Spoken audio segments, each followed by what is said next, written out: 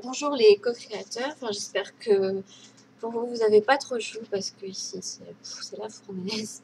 Hier je crois qu'il a fait 36 euh, degrés dehors, j'en pouvais plus. Euh, et la nuit euh, il n'a pas fait spécialement très frais, donc du coup la maison est encore vachement chaude. Fait 24 dans la maison. Après j'ai tout, tout bien fermé ce matin. Donc j'espère que pour vous il ne fait pas trop chaud et, et que et que tout va bien pour vous. Euh, alors aujourd'hui, euh, j'avais envie de parler de, des sorties de zone de confort. Je me suis rendu compte que, mine de rien, euh, j'en avais des sacrées zones de, enfin, de sacrées zones de confort. et pas par paresse, mais j'ai souvent tendance à remettre au lendemain j'ai toujours, j'ai souvent fait ça, je faisais toujours euh, tout à la dernière minute, surtout euh, au niveau scolaire, parce que c'était là où j'étais la, plus productive. avant ça, quand je savais que j'avais le temps, l'inspiration ne me venait pas. Et euh, à chaque fois, quand je faisais ça quelques jours avant ou la veille, je sais pas, il y a tout qui venait. J'étais inspirée. Ce qui m'a amené dans ma vie de tous les jours à avoir tendance quand même à remettre à chaque fois en disant oui, mais j'ai encore le temps demain. Oui, mais j'ai encore le temps donc demain. Et euh, jusqu'au moment où ben, on n'a plus le temps. Et euh, dans une vie de famille, finalement, euh, le fait de remettre au lendemain, c'est quelque chose qui me dessert. Parce qu'il y a tout qui, qui s'accumule du coup, et on se retrouve avec plus de boulot qu'on en a à la place. Donc je me suis rendu compte qu'il y avait ça. Et puis, euh, autre chose, c'est sur la nourriture. Donc, je vais vous expliquer un petit peu ce qui s'est passé ces derniers jours. Euh, donc, hier, euh, je discutais avec mon conjoint. Enfin, j'étais censée déjà vider deux meubles pour qu'on les déménage vendredi. À chaque fois, je me disais, enfin, je me trouvais, je pense que je me trouvais des excuses pour ne pas le faire. De me dire oui mais on n'a pas de carton. Ce qui était pas ce qui était vrai. Parce que mon conjoint n'arrêtait pas de me dire mais si euh, chouchou euh, il y a les cartons t'inquiète pas. Mais non tu les as tous cassés. Mais non je te assure que si. Et euh, quand il a été les chercher hier ah ben en fait t'avais raison on a que ça comme carton. Voilà. Donc j'aurais pas pu faire grand chose finalement je me suis dit aussi où j'allais mettre les affaires, si je vidais les deux meubles, de son quand même la table pour manger avec la petite. C'était compliqué. Et puis hier, euh, il me fait tiens, euh, les, meubles, si dit, je dis écoute, je vais les faire. Euh, ben, j'étais censée les faire aujourd'hui. Je dis normalement, j'aurai le temps. Il me fait ah, bon, ben moi, je vais de toute façon avaler une partie des affaires parce qu'il joue avec des copains, avec des figurines qui s'appellent les Warhammer. Et euh, il y en a plein partout euh, dans notre salle à manger. Et puis je sais pas, j'ai réfléchi, je me suis dit ouais, je crois que je vais quand même commencer en même temps que lui. Et finalement, j'ai passé toute mon après-midi, malgré la chaleur, à en même temps déjà commencer à nettoyer parce qu'après nos vacances, on va, on va déménager tout petit à petit euh, pour emménager pour fin août, début septembre. Donc il reste pas tant de temps que ça. Et puis je profite que je suis pas trop avancée dans ma grossesse et que je me sens hyper bien pour euh, en faire un max, tout en m'écoutant et en me posant dès que je sens que ça va plus trop. Et j'ai bien fait parce que finalement, euh, ouais, j'ai nettoyé les deux meubles, mais euh, enfin, j'ai emballé qu'une partie des affaires et il me reste tout le reste à faire aujourd'hui et peut-être même ce soir quand je vais rentrer. Alors là, c'est la grosse voilà. Mais j'étais fière parce que hier, je me suis dit, tiens, en fait, je vais le faire parce que j'ai toujours tendance à remettre au lendemain. Et puis, euh, j'aime pas trop faire ce genre de truc. Et pour plein de raisons, parce que déjà, ça, ça, ça me gonfle. J'en ai marre de déménager, vivement qu'on arrête, parce que ça, m'énerve. La dernière fois qu'on a déménagé, euh, j'étais enceinte jusqu'aux yeux euh, de ma puce, et ben là, avec l'arrivée du, deuxième bébé, on se retrouve de nouveau à déménager. Heureusement, on le fait plus tôt. La dernière fois, j'étais à deux ou trois semaines d'accoucher quand on a déménagé. Donc, du coup, c'était compliqué pour moi, pour m'abaisser, pour nettoyer.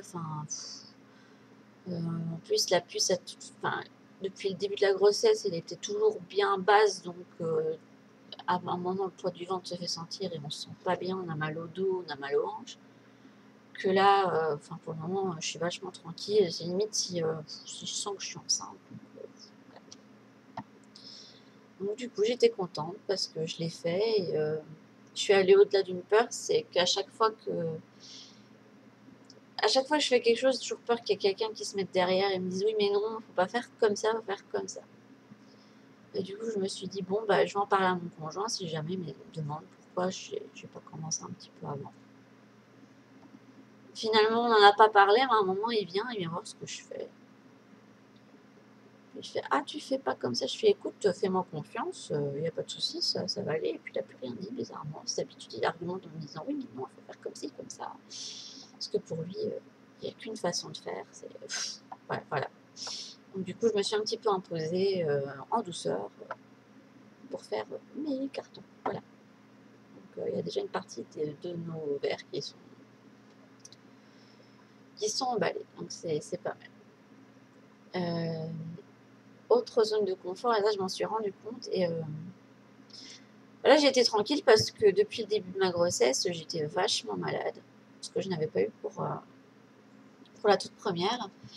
Euh, donc du coup, pour manger, bah, je me sentais vite, vite rassasiée, je mangeais pas grand chose. Et là, depuis, je suis tranquille. Et en plus, avec toutes des émotions folles qui remontent, là, je me rends compte que j'ai vachement tendance à, à redévorer. Et euh, c'est pas bon du tout parce que j'ai quasi rien perdu de mes premiers kilos de grossesse. Et là, je me suis. Donc, du coup, je me suis mis comme objectif de, de bien m'alimenter, enfin, de pas exagérer de, et de me contrôler, ce qui va pas être évident parce que je me rends compte que j'ai tendance à, à manger pour, euh, pour me remplir. Donc, euh, ben voilà. Pour me remplir, pour me protéger. Et puis pour taire un petit peu les émotions. Donc là, ça va être une sacrée euh, sortie d'une zone de confort et au jour le jour parce que c'est vraiment une envie euh, quasi irrépressible. Et puis comme ça, euh, j'ai mis l'intention de ne pas dépasser un certain poids, au moins ne pas dépasser le poids final que j'avais pour la grossesse de ma fille. Comme ça, je repars sur les mêmes bases et, et si j'ai la chance d'avoir un allaitement plus long, parce que pour ma fille, ça avait duré que deux mois, donc, j'avais eu euh, le temps que de perdre. Euh, j'ai perdu 9 kilos. Voilà. Euh, parce que l'allaitement, enfin, ça m'avait quand même pompé pas mal d'énergie. Je voyais mes kilos fondre, du coup. Et puis après, bah, une fois que j'allaitais plus, c'était la catastrophe. J'en ai repris. Donc j'espère que là, j'aurai un, allaitement plus long qui se passera beaucoup mieux. Enfin, comme je suis déjà passé par là une première fois, ça devrait aller. Donc voilà, j'ai posé des intentions là-dessus. Et dernière zone de confort et non des moindres, enfin ça fait quand même un moment que je me bats avec ça, puisque j'ai repris les cours de conduite euh, euh, après avoir récupéré mon dossier parce que j'ai eu plein, plein de contretemps finalement. Le première auto-école où j'étais euh, enfin, où j'étais inscrite et où j'ai passé mon code, euh, ils ont fermé pendant que, enfin un petit peu après que j'ai accouché, euh, donc il y a deux ans. Et du coup, euh, la personne, enfin le, directeur d'auto-école ne voulait pas rentrer de ses élèves. Donc c'était la grande traversée du désert pour récupérer le dossier. Et une fois que je l'ai récupéré, on était déjà au mois de mai. Donc autant je commence les cours, c'était fin mai, puis tout le mois de juin. Et c'est une grosse zone de, enfin, c'était euh, ma zone de confort, c'était justement de ne pas conduire parce que enfin, j'ai plein de peur par rapport à ça. Je, enfin, mon, père, encore lui, voilà. enfin, il n'y a pas que lui, hein, mais euh, il était. Enfin, je trouvais qu'il n'était pas prudent en voiture. J'avais super peur avec lui. Je ne me sentais pas à l'aise. Il conduisait super vite. Euh, et puis même quand il conduisait pas, euh, quand on revenait de soirée, euh, quand j'étais petite avec ma maman et qu'il avait trop bu, euh, c'était un vrai danger public. Il ouvrait les portières comme ça pour se jeter dans la rue, faire des trucs complètement débiles. Donc du coup, j'étais pas du tout rassurée en voiture. Puis par la suite, j'ai eu d'autres situations, je me sentais pas très bien. Et pourtant, j'ai un grand-père qui conduisait vachement bien et qui était autocariste Mais voilà, j'ai eu plein de peur par rapport à ça. Puis comme je suis quelqu'un de très tête dans les nuages, qui des fois part dans ses... Des fois, je suis tellement partie dans mes pensées que je marche et je pars d'un point à un point B, je ne sais même pas comment je suis arrivée là-bas. Hein. J'ai un trou noir total. Bon, ça m'arrive pas souvent, mais euh, ça m'est déjà arrivé quelques fois. Et je me suis dit que si ça m'arrivait en voiture, ce serait la grosse cata. Puis le fait que, justement, comme conduire, c'était une angoisse de ne pas savoir bien réagir. Enfin, plein de trucs euh, dans ce goût-là. J'avais peur d'être une mauvaise conductrice. Donc, du coup, euh, une fois arrivée à 18 ans, comme de toute façon, à l'université, euh, j'avais pris un logement là-bas et que je faisais les trajets en train une fois par semaine, bah, voilà, c'était confortable. Euh, après, quand je suis rentrée dans le domaine du travail, je pouvais y aller en train aussi, donc voilà, euh, à chaque fois je reportais, je reportais, je reportais. Puis j'ai passé une première fois le code et le, enfin, pas le permis en lui-même, mais les heures de conduite obligatoires en, en Belgique, mon pays d'origine. Et une, fin, en Belgique, une fois qu'on a le, enfin, on a un papier provisoire au bout des 20 heures de conduite. Et puis, euh, il dure 18 mois.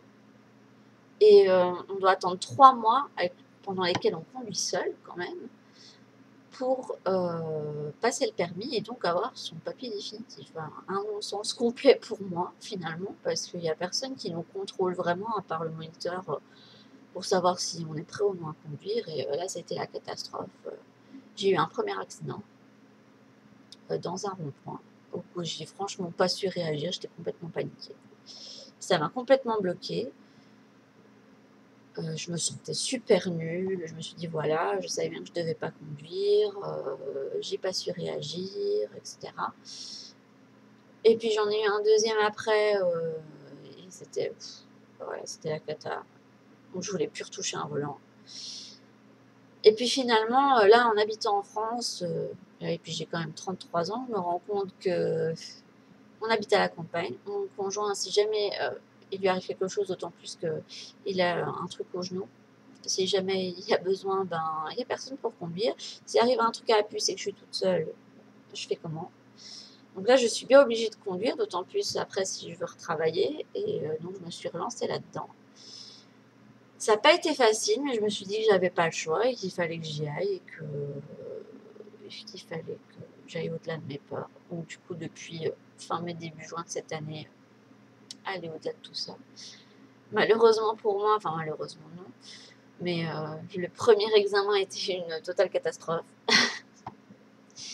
j'ai conduit comme si euh, je conduisais vraiment pour la première fois avec un moniteur et j'ai fait plein de conneries que je faisais plus pourtant et sous le coup du stress, de l'angoisse. Euh, Donc demain, euh, je le repasse. Donc ce soir, j'ai deux heures de conduite après ne plus avoir conduit pendant un mois et demi, là, quasi. Et demain matin, très tôt, euh, à 8h30, je le repasse. Voilà. Donc j'ai mis l'intention de l'avoir cette fois-ci, que tout se passe bien, que je sois bien présente, pas la tête dans les nuages. Et, je ne demande pas de le faire parfaitement, mais euh, de faire une prestation suffisante pour avoir mon permis et être tranquille avec ça. Et puis euh, après, il faudra que je sorte de nouveau de mes zones de confort euh, pour me forcer à conduire et pas me dire que à chaque fois il va arriver une catastrophe. Parce si j'y pense, moi, ça risque d'arriver justement. Donc il va falloir que je change beaucoup de de pensée par rapport à ça. Donc voilà, ça c'était mes, sortie de zone de confort récente et, euh, et je vais être contente après de me poser un peu en vacances. Enfin, normalement, on, part euh, vendredi après-midi. Le tout dépendant si on arrive à régler, euh, parce que là on a, on a eu un souci de dernière minute avec les propriétaires de la maison. Parce qu'on n'a aucun problème avec l'agent immobilier, le refus qu'on a envoyé de notre banque suffit. Mais pour, euh, pour euh, enfin, ce sont les enfants du propriétaire, parce que lui, il, est, il a un, handicap, donc du coup, il est mis sous tutelle. Et euh, ils nous font tout des... Parce que le souci, c'est qu'on a été dans deux organismes précédents, mais ils nous ont même pas constitué de dossier. Donc eux, de leur côté, ils nous refusent de nous faire une lettre de refus. Enfin, c'est compliqué. Donc on ne sait pas trop comment on va s'en sortir de ça. Enfin, j'ai décidé euh, hier de ne pas m'inquiéter parce que j'avais d'autres trucs à penser et, euh, de me dire qu'on est dans notre droit parce que légalement, un seul refus euh, suffit à arrêter une vente. En même temps, ça nous ennuie bien aussi parce que nous, au départ, on la voulait cette maison. Donc, on n'y peut vraiment rien si la banque nous a refusé le prêt. Voilà. On verra comment ça se passe. En tout cas, moi, j'ai l'esprit en vacances. Donc, pour le permis, j'essaierai de vous laisser un petit message, mais à mon avis, je serai déjà partie en Belgique. Et je me suis dit que, pour finir avec les zones de confort, si on allait euh, en vacances euh, là-bas, et cela on pense aller à une réserve naturelle qui s'appelle Paradisa en Belgique, je me suis dit qu'une sacrée sortie de zone de confort, ce serait d'aller dans un endroit où il y a les serpents. Parce que j'ai peur bleue des serpents. Donc on verra bien si, si j'y arrive ou pas. Voilà, je vous souhaite une bonne journée les co-créateurs.